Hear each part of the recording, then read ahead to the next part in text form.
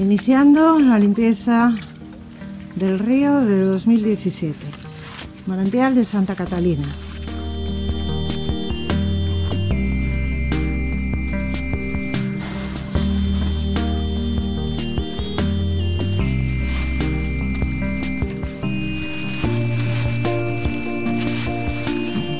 Así empezamos.